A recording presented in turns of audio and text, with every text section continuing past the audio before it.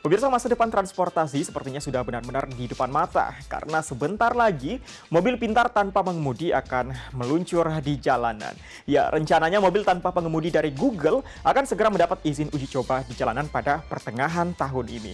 Dan pemirsa informasi seputar mobil masa depan ini juga akan menutup perjumpaan kita di Techno Update untuk pagi hari ini. Tapi Anda jangan beranjak dulu karena berbagai informasi dari dunia bisnis dan ekonomi akan hadir bersama rekan saya Prasetyo Wibowo sesaat lagi. Saya Fandi pamit, selamat pagi, sampai jumpa.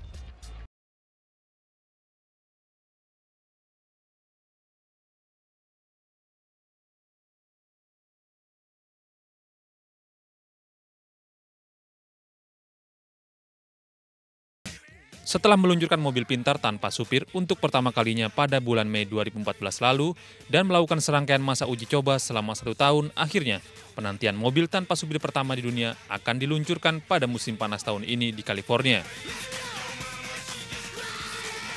Mobil ini benar-benar dikendalikan penuh oleh sistem komputasi yang diciptakan oleh Google. Oleh karena itu, Anda tidak akan menemukan setir, pedal gas, atau rem. Semua fungsi itu digantikan oleh sensor yang ditanam di setiap bagian fungsi mobil.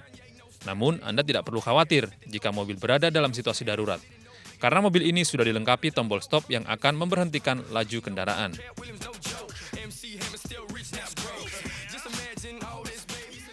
Mobil dengan kapasitas dua penumpang ini akan melakukan test drive di lintasan pertamanya, yaitu jalanan Mountain View, California.